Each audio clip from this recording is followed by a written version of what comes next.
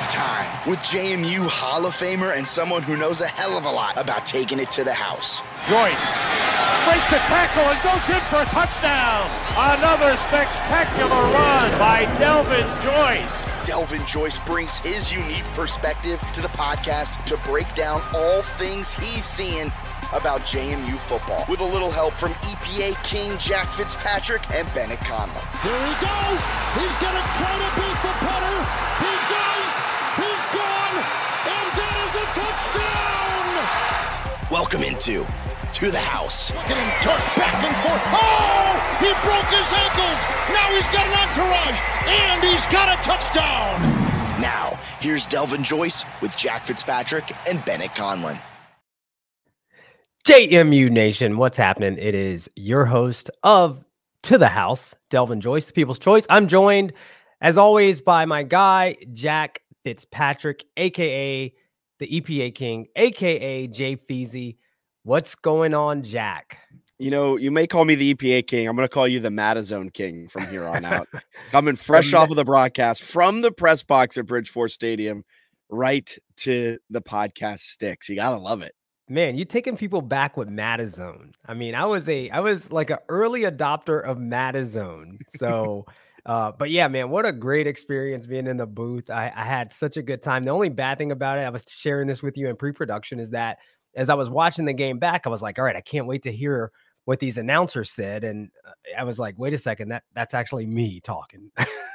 you're like, I can't wait to hear the the interesting insights that they give. And then you're watching it back and you're like, oh, that's right.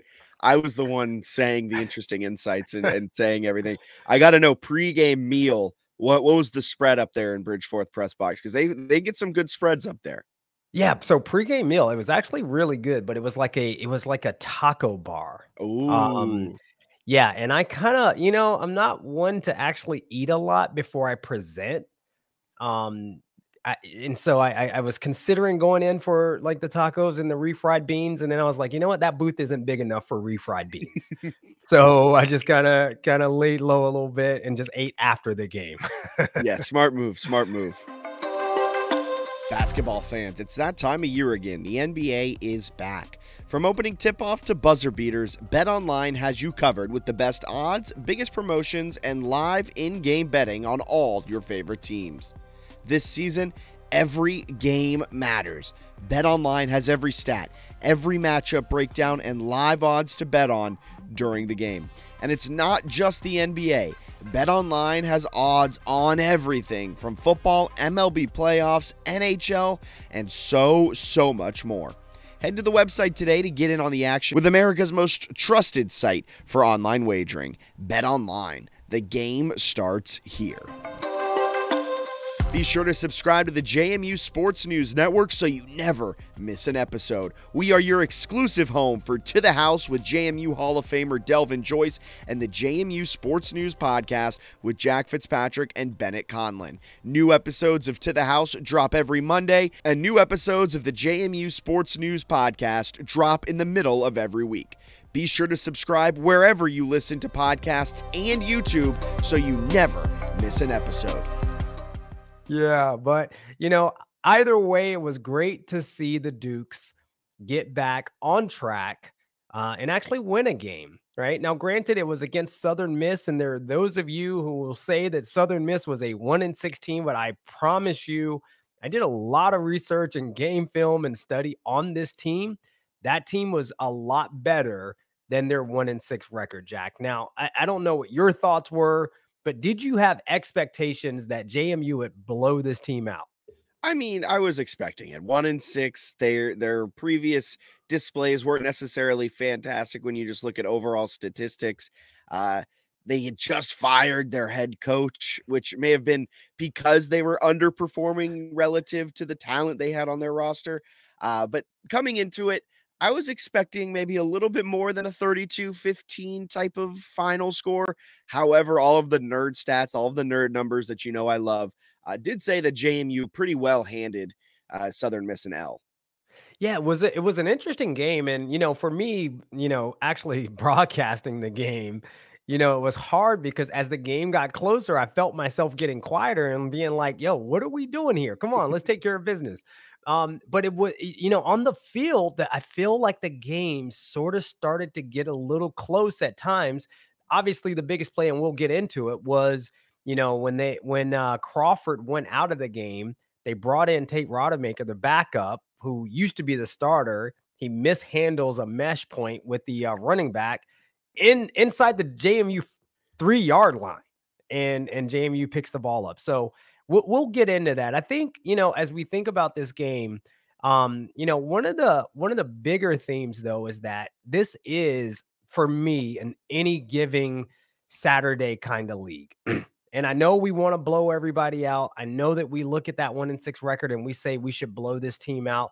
But I promise you, there is a lot of talent in the Sun Belt Conference from top to bottom. And the one thing that I would point to from this past weekend is not in the JMU game. It was actually in the Georgia Southern uh, game that they had against uh, Old Dominion. And and we were texting back and forth. I know you were big on the Monarchs, but what an outcome in that game, especially after Georgia Southern really looked like they had the inside track to the Sun Belt East Championship after beating us. Yeah, and not to look ahead or anything, but Georgia Southern is now an underdog this weekend against South Alabama with betting lines out there. So, in a blink of an eye, Georgia Southern can go from in the driver's seat to now needing help to win. JMU wins out. All those scenarios we'll talk about as the podcast goes on. But that game was was quite eye-opening. But for me, as an Old Dominion day one stockholder, I'm glad I never sold their stock at one and four I was pounding my chest that no matter what, Ricky Rahne, he's just lost a lot of one possession games, Delvin. And finally, yeah. the tides, and that's not supposed to be a, a pun, being that they're in Norfolk and the tides change. You know, the moon may have shifted and the tides have changed for the ODU Monarchs, but they're they're looking legit. They're actually the team that I'm most worried about now in the Sun Belt. Hey, bro, don't don't try to act like you were the only one who who saw this ODU comeback coming. I mean, I am on wax as saying ODU is the best one in four team in the yeah, country when they were one in four at the time. And I think last week I said they were the best three and four team uh, in the country. And so, you know, you look at Georgia Southern and what they have coming up, and we talked about this last week, you know, as we were talking about the Duke's chances to come back and actually win the Sun Belt East. I mean, they've got to go to South Alabama. Now, they are not a good road team. They play very well inside of Paulson, right? The power of Paulson. But when they have to travel, they don't do so well. And so it's no surprise to me that they are an underdog at South Alabama. now, I think the other thing that I would look at, at as I reflect on this game for for James Madison, I'm, I'm still in my broadcast voice. I have to say James Madison. Now I can say JMU, right? I mean, were you was that part? Would you had to say James Madison? Was that part of their like broadcasting rules? No, I don't think so. I think okay. I think that was I think that was me trying to sound impartial because I think okay. if you say JMU, it's kind of a homer kind of. I don't know. I don't know. Because we'll, we'll, we'll figure that out. A peek behind the curtain for broadcasting when you go into certain schools they'll tell you what they want to be called and what they prefer to be called like for elon when you refer to a school by the school name so james madison elon it's an it, right? So it is the Elon, like Elon has gone out there and it has won. But if you're referring it to as the Dukes, it's a they. So the Dukes, they have won a bunch of games this season. For Elon, they want you to refer to the Phoenix as an it in the singular because Elon rose from the ashes. Elon was the fighting Christians. Their entire school burned down. They're now the Phoenix because they have risen from the ashes. And at one point in time, this fictional, fant- fantastical creature, you can only have one Phoenix living at a certain time. So you refer to the Phoenix in the singular. That's a complete tangent, a complete thing that probably no one cares about, but it really grinds my gears. Oh man. All right. I'm gonna put that in the category of TMI. However, that was that was that was pretty cool. Now I know, and knowing is half the battle, right? um, but you know, the other thing that I thought was good, and I said this at the end of the broadcast, it was actually really good to see this team actually win and and win convincingly when they didn't have their best stuff, right? I mean, I think one of the things that we've heard fans say is that we either have the 70 point or the 63 perf- point performance or we have a game where we struggle to score points like ULM. And it was good in this game. This was kind of that tweener game. I, I think it went, you know, it was kind of back and forth. And then all of a sudden we broke away, and then it was a 35 or 32 to 15 final. So really good to see that tweener game. Now let's let's talk about the offense uh, for a second. And you know, we saw some of those things that we had seen before on offense, where you know, kind of streaky, maybe an explosive here and there, but when it comes time to actually settle in, drive the ball down the field, somehow our offense just seems to stall out on drives. So much so that we were two of 12 on third down conversions and 0 for 2 on fourth down conversions. And Jack, I know you got some EPA stats for me, uh, or you got some analytics to to make that make sense for me. But what do you got for me right now, Jack? I mean, none of it really makes sense, and that's the most annoying part. As like as this, as someone who like I almost enjoy looking at the statistics and the advanced stats sometimes more than watching the actual game. Of course not. I I love watching football, but you try to figure out what's actually happening and kind of trying to figure out the story behind what you're watching. And the stats just don't back it up. The stats still say that JMU is a a very uh, not a very good, but a good top tier Sun Belt offense. And you watch the offense and you're just like, my eyes are not telling me that at times. At times, the offense plays exceptionally well, but at other times, they are abysmal on third down. They're setting themselves up into these third and long situations. They can't convert on fourth down and they're uber aggressive on fourth down. And you're sitting there and you're like, what is the issue? Is it is it play calling? Is it poor poor pressure recognition from Bar- Barnett? Is it a mixture of both? Is it the offensive line play? Is it just bad luck? Because sometimes it just comes down to luck. It's it's really head scratching. Yeah, it it is it is a head scratcher, and I've been trying to figure it out. I think some of it is just play calling rhythm.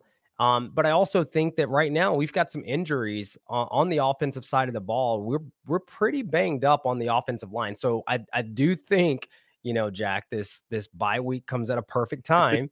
Um, but I do think it's a great opportunity for us to at least get some of those offensive linemen healthy, get them back in the lineup, and maybe that will solve some of the protection issues because Barnett was hurried a lot during this game, although he was only sacked four times. And I say only because we managed to sack their quarterback like nine times. But I mean, eh, eh, four sacks is still a lot. 15 for 25 passing, though, only 135 yards. He did throw two touchdown passes. The two touchdown passes that he threw, I thought were exceptional, especially the one to Taylor Thompson uh, in the corner of the end zone. Fantastic throw, fantastic catch by Taylor Thompson. And then finding Cam Ross in the seam uh, down at the goal line, I also thought was a really good find at that situation in the uh, in the ball game, especially when they needed it, right? Yeah, Cam Ross answered the call multiple times. The the kick return touchdown. I think he knew you were up in the booth, so he had to had to show off for the all time leader in all purpose yards. But I mean that that's just a, a exclamation point there for JMU. Man, that dude had a game, man. I uh I got a chance to see him after the game, dapped him up. I told him how fired up I was to see him return that kick. Um, and I gotta tell you something, man. You got you don't know how hard that is. Like when I, I was don't. playing, I hate it getting the ball in the second half because that that meant that I had to walk out of the locker room. I'm not as loose as I was before the game started. I probably got some nicks and bruises from the first half. And to have to go out in the first play is I got to return a kick. Like that sucked. I was always give me the first kick of the game. I want to take that one to the house. Um, so for Cam Ross to come out of the locker room kind of cold and take that thing to the crib, man, I thought that was amazing. And I don't know if you heard, but during the broadcast, I maybe snuck in a plug for Tuda house. um, but yeah, really, really good play by. I mean, I was just blown away that he made that play in that game. Whew. Now, so I, I want to talk about. So Barnett obviously had the really bad interception. The first time that we've really seen him make a poor decision, the first interception that he threw this season was at uh, uh at Charlotte and he thought he had drawn the team off, off offsides, right? And he just threw it up, right? He took a shot. He He did what he was coached to do, except that he didn't look to confirm that they had called the offsides, even though the guy was offside. He was very offsides. This one, I think it was him saying, you know what? I, I they they're coaching me up. I can't take these sacks in these situations. I got to find a way to get rid of the ball. And he was trying to throw that ball away. It's just that the defender had a handle on him and he couldn't get enough strength on it to throw it away. So he just threw it up for grabs. Oh man, that whew, that that one I was watching it like he's not going to do it, is he? Oh, oh, he did. Oh, he did. Yeah, and from the press box, it looked like that ball was headed out of bounds. and then for it to get caught in the middle of the field, I was like, what was that? That was weird. But again, I still have faith in him as a signal caller. I think that that was just, you know, maybe a one off. And, and by the way, when you think about Southern Mississippi, um, they are actually a really good team against the pass. So it does not surprise me that we were held to 15 of 25 passing and 135 yards. Also, considering that we had a short field for much of the game. So there wasn't a lot of available yards at times for us to actually get in the passing game, right? Um, but they are fourth in the Sun Belt in pass defense. They had a really good secondary. They have P4 transfers at the cornerback position. I think one guy was from uh, Purdue, a Big Ten transfer. The other guy was from Ole Miss. So really good um, transfers in those positions. That experienced linebackers. They were all seniors and or grad students, and their front four were all super experienced. So the defense over there is not terrible against the pass. Where they were vulnerable was against the run. And we've seen that all season. I think they are coming into this game, they were 13th in the Sun Belt or 14th actually in run defense. And of course, finally, we saw our running game get going, uh, led by, of course, my favorite player, George Pettaway, aka Shady Pettaway, right? But Pettaway runs for a career high 119 yards on 16 carries. And he had some really good highlight runs, I think, during that game and just made some really big plays to keep us in it. So I guess your thoughts on on Pettaway and the overall running back room uh, in this game. Thank goodness he got more than 15 carries. That had kind of been like the spot that, that that was the ceiling for him throughout this entire season. I think he had more than 15 once before it was against UNC, his former team. I understand that. He has 16 carries, averages 7.4 yards per carry. It, it felt good that at times they were leaning on the run. I would have, and this is shocking coming from me. I I've been a Seahawks fan my entire life. Pete Carroll ran the ball way too much. I'm a big pass the ball, pass the ball type of guy. But with all that being said, I wanted them to run the ball a little bit more. I've won I've been clamoring for that all season. I would have liked to see running the ball a little bit more in this game, but I can't complain too too much with a 32-15 win. The ends justify the means. But I mean, Pettaway balled out. Wayne Knight, 59 yarder long of the season. I believe the longest rush for any JMU running back this year. Uh, kind of sad that he got caught from behind. I, I hope yeah. that his teammates give him hell about that. But even Pettaway doesn't wear, it, doesn't tuck in his shirt, doesn't have the tearaway shirt, and gets pulled down from behind with his undershirt. I mean, come on, guys. Yeah, that was bad. I mean, Wayne Knight, uh, you know, that monkey jumped on his back, and I saw his brother Yamir go over and give him some crap. And he's like, yo, you got to get in the end zone, man. Take that to the house. I really thought Wayne was going to take that to the house, but really good run by him. Love to see that he he made something out of nothing on that run. I would have loved to have seen that be sort of a design run that actually went as planned, but also really cool to see him make something out of nothing. I was very, very sad to see that Tyler Purdy got hurt in that game. If you listen to uh, Bob Chesney's press conference today, he said Purdy broke his leg. So he is out for the season. And that's a big loss. Again, I said it on the broadcast. That guy is a Swiss Army knife for this team, a Swiss Army knife for this team. I was thinking about the Knight brothers, Swiss Army Knight. Um, but yeah, I mean, he catches passes.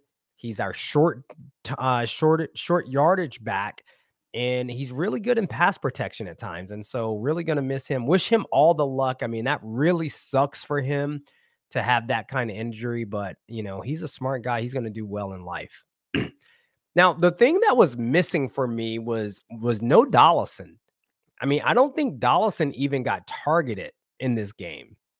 So, I mean, I, I, I looked for him in some of the route schemes and combinations, and I just did not see a lot of opportunities to give him the ball. Now, I don't know if that's because we're running him on that deep route because he's like the fastest guy on the team, but he needs more intermediate passes where he can catch the ball and make somebody miss and go to the crib. So, um, any thoughts on Dollison not getting any targets?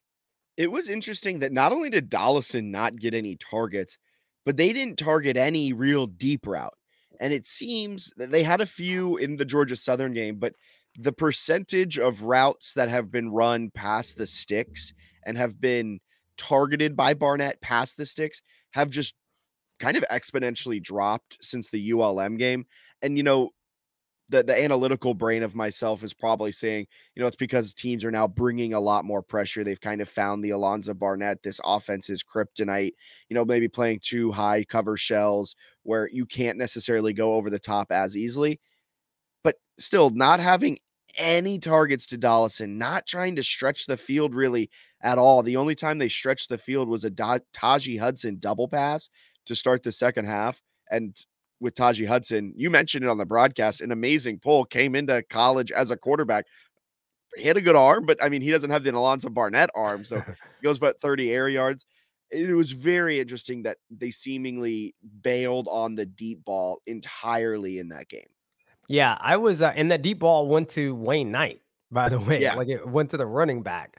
Um, you know, it was interesting though. I was, it was cool to see that we still had the playbook open, even if, even though it was a one in six team.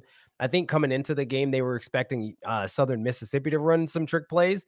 We were the ones that actually ran a double reverse to Cam Ross, and we ran a, a, a wide receiver throwback uh, to, with uh, Taji Hudson. But yeah, very interesting. I really want to see Dollison get involved in the offense uh, a lot more. Um, Barnett didn't seem to target a lot of people outside of uh, Cam Ross, Yamir Knight, and the running backs, right? Um, and so really want to see him sort of spread that ball around a little bit because I think that's one of the things that made us dynamic. And as we think about some of the woes on second, or I'm sorry, on third down and fourth down, you know, one of the things that I think Chesney has said is that sometimes it really comes down to efficiency on first and second down. So if we don't get productive yards on first and second down, that puts us behind the chains. And now we've got a longer play to make for that third down conversion. Well, I got to tell you, a lot of times, if you look at this game, I mean, there were some times where we were behind the chains and there was like third and eight, third and nine, third and eight plus. But there were also times where it was third and three, third and four, and we failed to convert. I mean, we didn't convert a fourth and one, uh, which could have kept the drive alive. That would have been a very important touchdown. And so I, I think part of the challenge is that that identity that we've all talked about for this team is that explosive offense. And if you are an explosive offense, you live by the explosives and sometimes you die by the explosives. And we have to find a way to build consistency on the offensive side of the ball to drive the ball down the field and possess the football because our defense is standing on the field a lot. Yeah, uh, that game had a 5% explosive play rate for JMU, which is one of their lowest numbers of the season, uh, one of the lowest numbers across all of college football uh, on that Saturday. Southern Miss also finished the game with a 5% explosive play rate. But but kind of going back to what you said, out of all of the downs, first down is by far the most important. And you can't as an explosive play team, in my in my opinion, as an explosive play team, you have to be able to effectively run the ball on first down and efficiently run the ball on first down because you cannot rely on the explosive plays on first and 10 because an explosive play only hits on the good side 30% of the time, maybe. So you're sitting at second and 10, 70% of the time you have to figure out a way on how to push the ball, stay ahead of the sticks, get that successful run on first down so that first and 10 becomes second and five. And then your whole playbook opens up and then you can go from there and figure things out. Yeah, that's a that's a fantastic point. And you know, to to that point, I think on defense, you said that we kept Southern Miss from some of those explosive plays. And I was actually worried about that quarterback coming into this game. I mean, he he is a quick guy I think he changed the dynamic of their offense. He's led their team in rushing for the last two weeks. And and really just overall, I think a good kid too. Like I really, you know, in watching film and preparing for the broadcast, I really enjoyed watching him play because he just seems to play with a lot of happiness and joy. And so I, I really appreciated that about him. But I think what you saw on the defensive side of the ball, knowing that we had a true sophomore quarterback who was going to be starting this game, I think we saw a much more aggressive game plan from Hemp, right? Coach Hemphill had a much more aggressive game plan because last week he said his game plan was what, Jack? What was it? What did he, he say? He, he, said trash. He said trash. He said my third down pre calling was trash. So very candid look at the mind of Lyle Hemphill in a uh, in his press post game presser uh, last week. But this week, again, he said he wanted to be a lot more aggressive, and we saw that. We didn't see that aggression against Georgia Southern, though, and and JC French, the quarterback at Georgia Southern, made us pay. I mean, that guy was running around, he was making plays, and then probably if you saw any of this uh, this game against Old Dominion, Old Dominion does maybe the best job of anybody in the entire Sun Belt of bringing pressure, mixing things up, trying to confuse offensive line linemen. They were very aggressive. And that aggressive game plan paid off, and French and company did not handle it well. so much so that he got benched again, I think. I think they benched him and brought back in Dexter Williams. So again, I know that uh, Coach Hemphill would want a mulligan if he could go down and play Georgia Southern again. Hopefully, he sticks around with the Dukes next year, and we get to play him again in Bridgeforth. Um, but Crawford again, dynamic player, led the team in rushing two two weeks in a row. But this week, he only had 10 yards rushing against Lyle Hemphill's defense. And the best part is we sacked him nine times. I mean, that's nine times. I mean, getting sacked nine times for that elusive of a quarterback to get him on the ground nine times, I think is phenomenal. That is an insane number. And then not only the nine sacks, Jacob Dobbs had two TFLs, Kyrie Mans had one, uh, Thomas had half of one, Eric O'Neill one and a half, Hendrick Barksdale, Daryl De Dingwa. Dengoy. Dengoy. Ah, yeah. Well, that's Dengoy. how we said it in the box. yeah, De- Dengoy. I'll go with that. They have one. Emmanuel Bush has one. I mean, like everyone along that defensive line essentially had also then a TFL. Yeah, we had 11 of them. Um, and again, aggressive game planning. I, I honestly, at this point in the season, you know, six and two, needing to win out, I do believe that this more aggressive defense is what we're going to see from here on out. Because as you can see, it was very effective against this quarterback. We're also going to face some other young quarterbacks, uh, Joey Aguilar, uh, notwithstanding. But the kid at Old Dominion, young quarterback, I think he's a freshman, yeah. right? I don't know who's playing quarterback at Marshall now.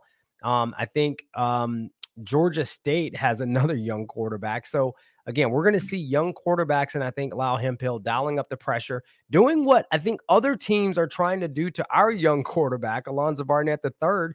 I think is the way to go. I mean, so I was really excited to see that. I saw Dobbs got hurt a little bit. He should be back, but 10 tackles, two sacks, Sun Belt Defensive Player of the Week. Finally, good to see him get his flowers, especially coming off of a 17 tackle performance in a loss last week, right? So, probably Sun Belt Player of the Week last week if he doesn't get hurt.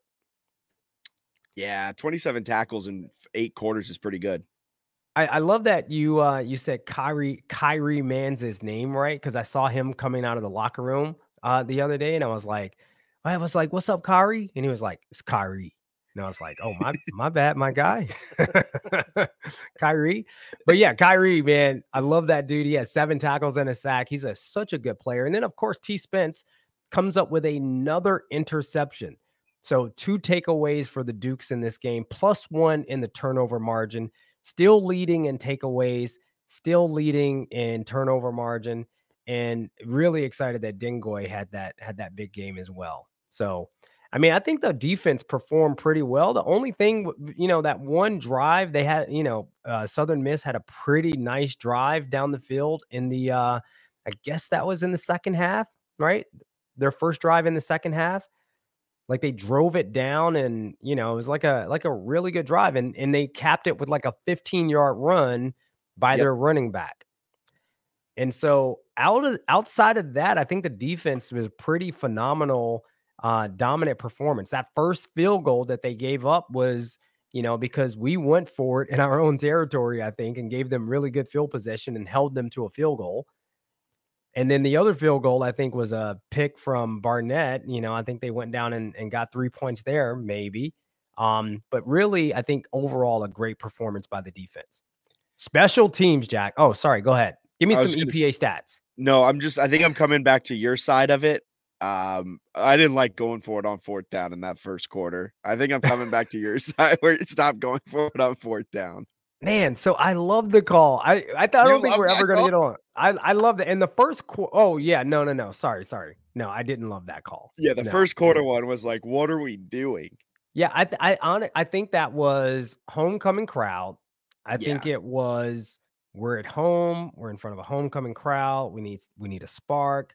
We're playing a team that's one and six. I don't think they can beat us, even if we don't get this. I think that was the calculation there. Yeah, Um, I did like, you know, the other fourth down call. It was fourth and one. You know, if you remember, Yamir Knight was coming across, caught a pass, and just came up just short of the first down uh, marker. And then, you know, we decided to go for it. Now, of course, at that point, we were without Purdy. And so George Pettaway takes the short Yeah. yardage, uh, fourth and one carry. Not really his forte, I don't think. And so, you know what I'm going to say? You know what it's time for? You know, you and you and uh, you and Bennett are going to be happy because I, I do think that going forward, we're going to have to see Jobi Malary. Like we're going to have to see this guy come Woo, into the game. Yeah, and and Jobi had a carry in this game, and he looked good, man. I mean, he looked like he runs downhill. He's a big load. I, I gotta, I gotta think that the guy can come in and pick up fourth and one, right? At a minimum. he So- he falls forward and he should be able to pick up fourth and three. Like he is a large, large No. human. No, he's a he's a big guy. I think George Pettaway said it on the uh, on the uh, press conference today. Um, in his comments, he said, you know, Jobi came in late, came in uh, during during the summer, so it's really hard for a guy to come in during training camp, try to learn a play, playbook, and that was our suspicion. We had said, you know, maybe he's not up to speed on the playbook, and maybe that's why he's not getting the type of burn that we think he should be getting. Um, but he's going to have to play a role now. So is Wayne Knight. Wayne Knight's going to have a bigger role. We got Purdy out. We got Ayo Adeyi out. And and George Pettaway, you know, he he's averaging around 14 carries a game at this point, right? This last week, 16 carries was the most he's gotten all season. And so I, I cannot see him carrying more of a workload than that, nor do I think he should. I think Wayne Knight and Jobi Malary are gonna have to pick up the pick up the slack. Yeah, for sure. So I guess as we think about special teams, I mean, one of my challenges right now, obviously, is in our kicking game because for the for for back to back weeks, you know, we missed a field goal last week at Georgia Southern. We missed an extra point uh this past week. And so the question is, when is Noe Ruelas coming back? I have no idea. I also don't know what his injury is. Like I, I assume it might be a pulled a hammy or something along those lines, but not 100% sure what that is. And uh, it, it's a it's a pretty drastic fall off. And it wasn't Max Lipinski, the true freshman, kicking this last Saturday. It was Cristiano Rosa, the Central Connecticut State transfer, came in. So uh, even Chesney's looking to try and pull some dials and or push some dials and pull some levers uh, to try and f- to find an answer in Ruelas' absence. Yeah, and I think they did fine, right? I mean, I think you know both of those guys are are working their butts off. They're young guys. They're going to be fine over time. But Yeah. you know what we want is the guy who uh, we thought was going to give us this experienced kicker who's got a huge leg, who can make them from pretty much anywhere, and um, would be nice to see him return, just so we have a little more stability there. I do think Rosa and uh, are going to be great players for us at some point. Uh, just want to see Ruelas get healthy, get back on the field. You know, the other concern was our punt return coverage. And that guy, Ty Mims for Southern Miss, I think he was a special player. I mean, I'm looking at him as a former NFL punt returner. And I was like, yo, this dude is a beast. I mean, he was really good as a punt returner. In fact, he took one to the house that fortunately for us got called back. Um, and I think, you know, if I'm the ref on, in that situation, I probably let that one slide. I mean, it was kind of a, a blindside block, but it was kind of a good block. it was a good block. I think you said on the broadcast back in your day that was that was a completely legal block. Back in my day, that guy is getting a helmet sticker on on Sunday morning. Like, I mean, seriously, that was a that was a fantastic block. And so I think what that guy's got to do is he's he's just got to run there and get in the way and throw his hands up. Can't hit him. Yeah. But because that was an electric return um by uh by Mims. And so, you know, the question is, is that the the product of an exceptional player for Southern Miss, which I do think that guy in the return game, he dropped some passes as a receiver but in the return game, that guy was special. So was it the fact that he's special, or are there some cracks in our uh, punt return coverage? And then, of course, we had the extra point block um, by Dengoy, and then Chris Sheeran picks it up and takes it to the house, which that was a big play. That was a momentum play right there. So huge.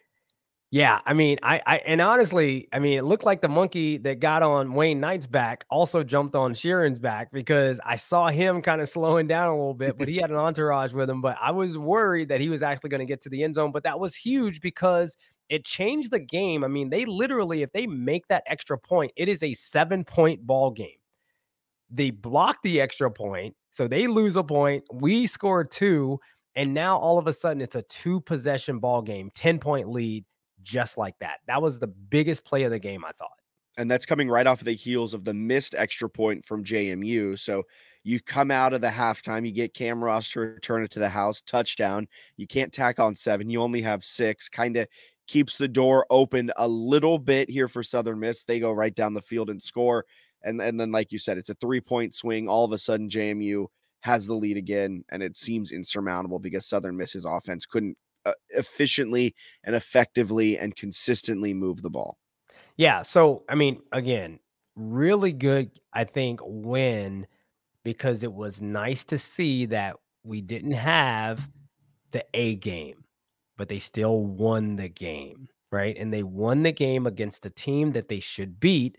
And they, even though they didn't cover the spread, I don't even care about any of that stuff. I don't, I don't, I've never bet on a on a sports game. You know that? I've never placed a bet. I don't even know how to do that.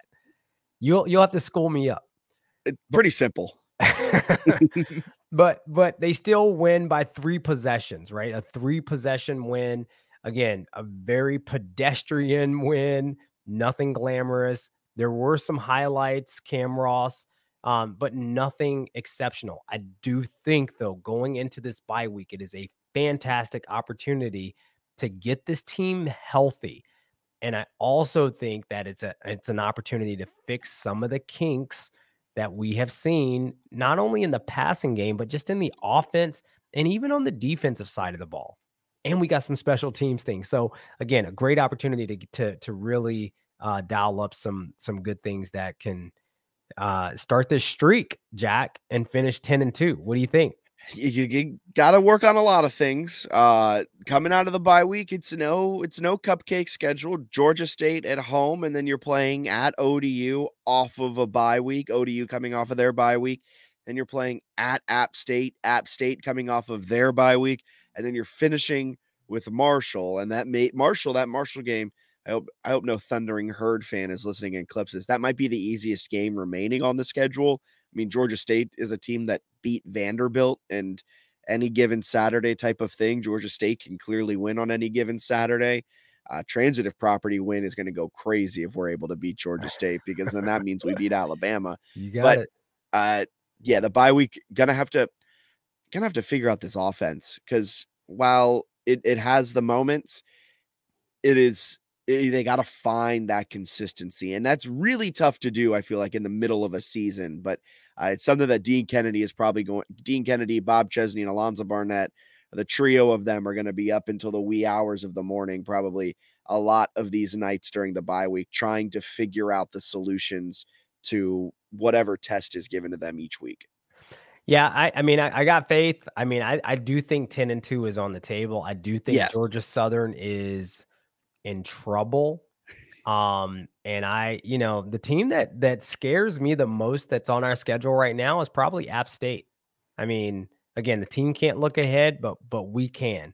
Obviously concerned about Old Dominion because we have to go there, but we also have to go to Boone. And, you know, if you watch how they played this past week, it looks like they, you know, kind of trying to right the ship a little bit and trying to win some games. And so I would not be surprised if they're not in the mix, you know, to play spoiler down the uh down the stretch. Yeah. Yeah. I'm so worried about ODU, man. I'm so worried about the Monarchs. Yeah, that's in-state rival, though. I mean, I, I listen. JMU kind of, you know, I think JMU takes care of business against Old Dominion, but um, again, bye week, perfect time. Looking forward to the Dukes getting healthy, getting some players back, and and really just going on a run. So bowl eligible already, but we can really get a good bowl and actually go somewhere fun, right? I mean, Jack, I think on my wish list, if I had to give you like a top three, it Hit would me. be New Orleans. Okay. Right? Dukes in New Orleans. That would be fun. I don't want to go back to Texas, right? So no more Texas. No, no more Texas. We did that already. No more Texas. New Orleans, South Florida. So I mean, I mean, the Boca Bowl is not like the greatest bowl, but if we if we finish like seven and five and we end up in the Boca Raton, I would love that. That would be a blast, right? And then maybe the Bahamas Bowl. I'll I'll, I'll buy plane tickets and go to the Bahamas. I don't. I mean, especially in December. Are you kidding me? All right, Jack. Three good, eh, the three good ones. Three good ones. All right, so you know what time it is, Jack. It is time. I think for your favorite segment, it is what you talking about, Willis. What you talking about? What you talking about? What you talking about? What you what you, what you talking about, Willis? All right, so this one this one might be a little controversial for me, Jack, but Ooh. this week's what you talking about, Willis, comes from a guy named Peter Fiutak. I, I really like his call. He he he's uh he's the publisher of College Football News, and I really like him. I follow him on Twitter. He's he you know spits a lot of facts about college football. Um, and college football news, I mean, he really does a good job keeping people up to date on what's happening in college football. He's done really good coverage, by the way, on the college football playoff, and you know, really, really good uh, publisher. But this week, he tweeted if Indiana, you knew I was you knew I was going here, right, Jack?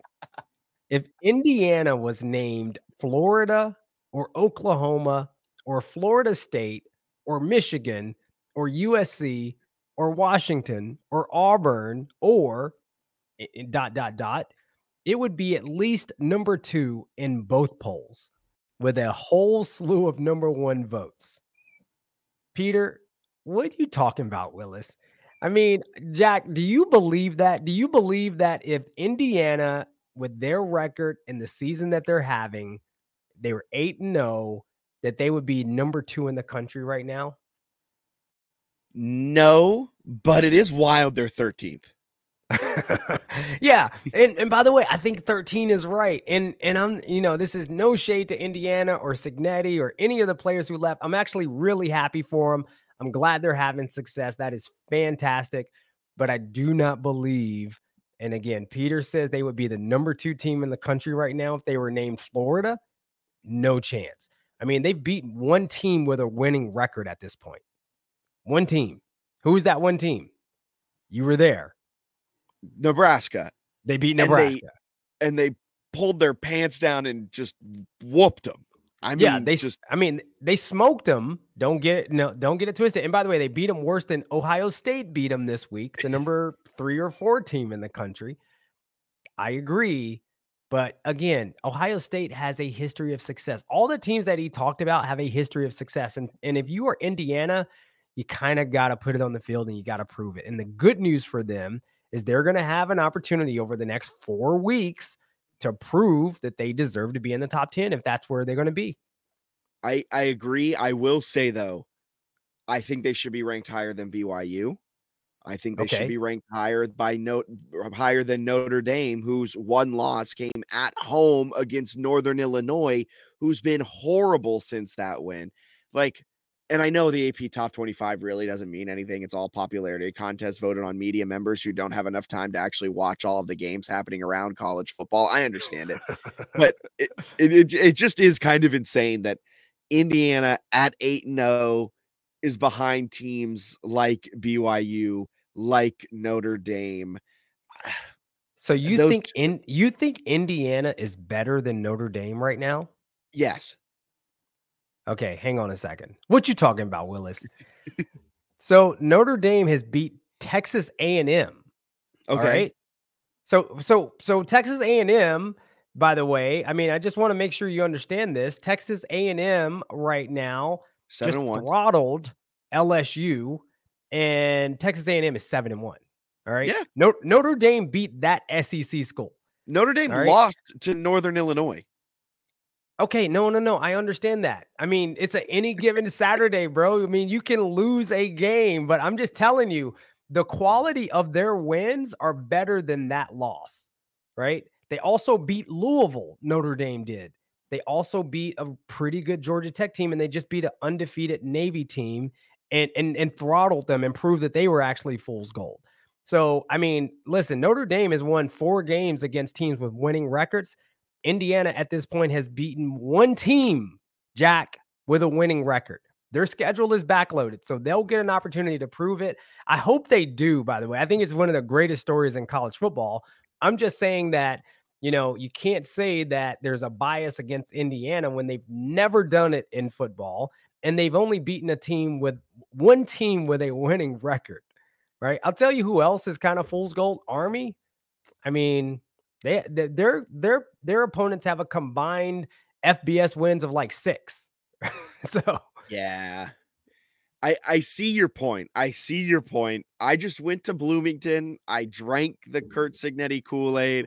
I'm I watched them beat up on Washington. I watched the D'Angelo Ponds pick six, and I was sitting there and I was like, you know, I'm gonna get fully behind Indiana. I'm gonna get all the way in on the bandwagon because it's fun. It's a fun story, and it's like rooting for JMU.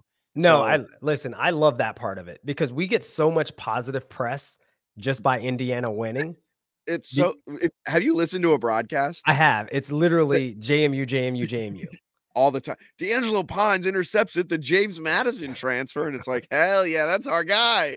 Yeah, and you know, it's uh you know, I will say it's kind of bittersweet because on the one side, yeah. I'm like, man, we we would have a CFP Boise State type of team in Harrisonburg this year, if not for you know the departure of 13 absolute studs on on that team, right? So, but yeah, they wouldn't be the number two team in the country right now, though. Not not with that resume. I'm sorry. I mean, listen, they get a chance to prove it. I mean, what do they have coming up? They got you know, this coming week, they have, I think, Michigan State, right? A four and four Michigan State. Uh, they got Michigan, of course, but they got them at home. They got then they got Ohio State, and then they end with Purdue. So, you know, I, I actually believe Cignetti's, I mean, he's he's he's those two games against Michigan and Ohio State, like he is dying for those games. Oh, like, yeah. Yeah. No, he's he's already game planning for those games, I guarantee you. They may hang 70 on Michigan. That would be hilarious. I would uh I would love to see that. All right, Jack. It's getting late, man. Let's let's uh let's take it to the house. And you know, Jack, as the Dukes head into the bye week, I think we've all determined, and we've talked about it tonight, that there are some problems they need to sort out, especially on the offensive side of the ball. And as we are less than two weeks from the presidential election, I can't believe that's right around the corner. I'm reminded of a quote from the 34th president of the United States and five star general, Dwight D. Eisenhower.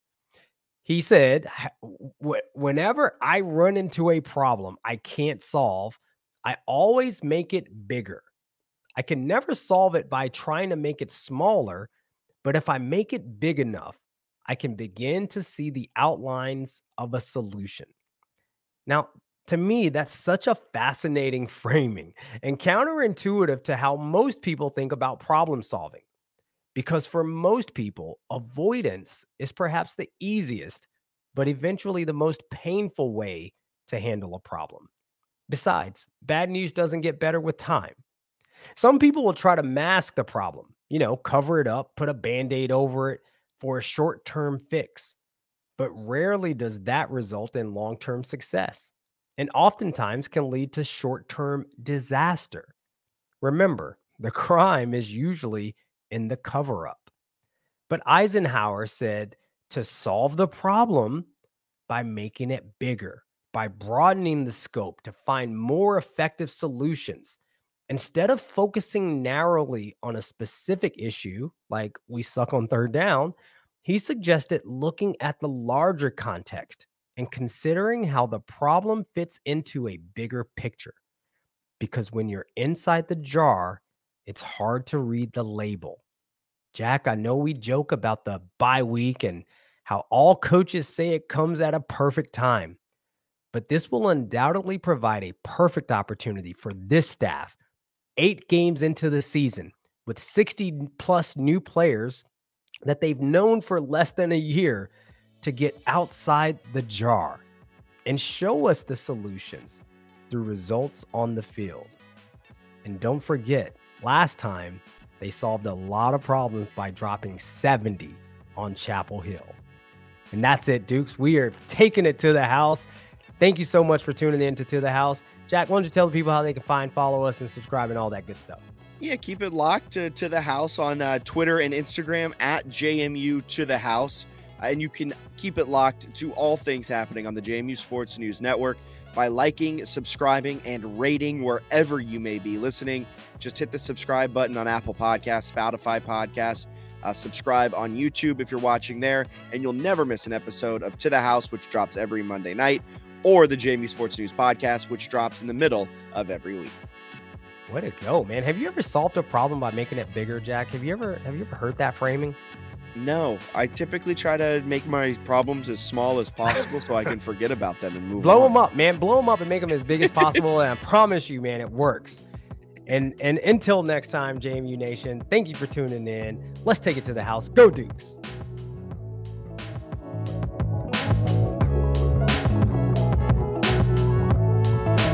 To the House is part of the JMU Sports News Network. New episodes of To the House with JMU Hall of Famer Delvin Joyce drop every Monday, and episodes of the JMU Sports News podcast drop in the middle of every week. Subscribe to the JMU Sports News Network wherever you find your podcast and never miss an episode.